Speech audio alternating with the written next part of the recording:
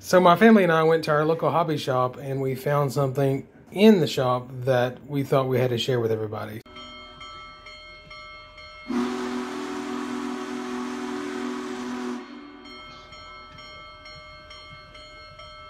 Uh, this is what we found. This is an Atlas railroad crossing signal flasher. Um, most people call these grade crossing flashers. And this is what it looks like. We've already opened it up and just taking a peek at it. Let's go ahead and tear it open.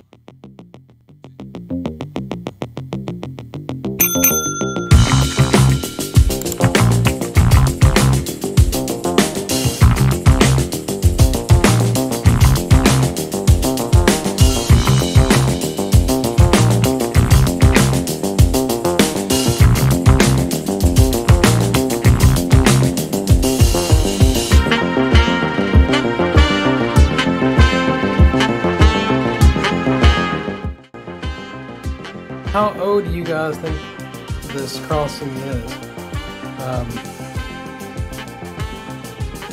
70s maybe? 80s? Definitely not 90s. The smell that's coming off here reminds me of the uh, roller skates at the roller rink.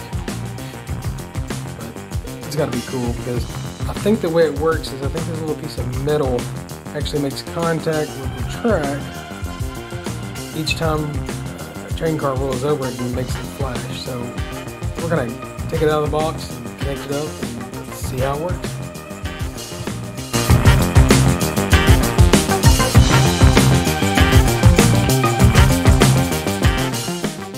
So here's the actual crossing that we put out of the box. It's kind of dusty and there's several connections. Um, overall, it's pretty cool. I mean, it looks like it's already been weathered. Maybe it came that way. Maybe it's been on someone's layout or sitting around somewhere for years. Um, I don't know if you can see how kind of corroded and dusty it is, but it's definitely worth putting on the layout as is. And just like the instructions, I have the sensor or the contact connected to the crossing. When the train drives over that piece of metal, it makes contact with the rail, sending an electrical impulse to the light, just like that.